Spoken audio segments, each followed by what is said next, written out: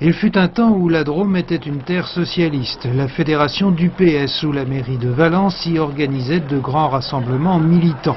Aujourd'hui, seul le sud du département, avec le mouvement des citoyens et les radicaux, s'est mobilisé en faveur de Lionel Jospin. Élu corésien, François Hollande sait de quoi il parle quand il met en doute le sens que Jacques Chirac aurait de l'impartialité de l'État.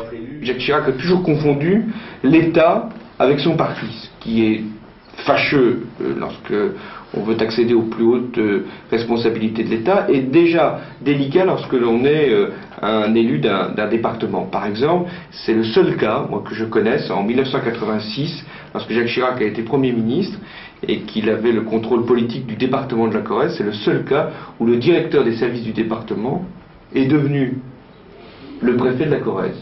Je ne connais pas d'autres exemples, d'ailleurs l'association du corps préfectoral de l'époque s'en était émue.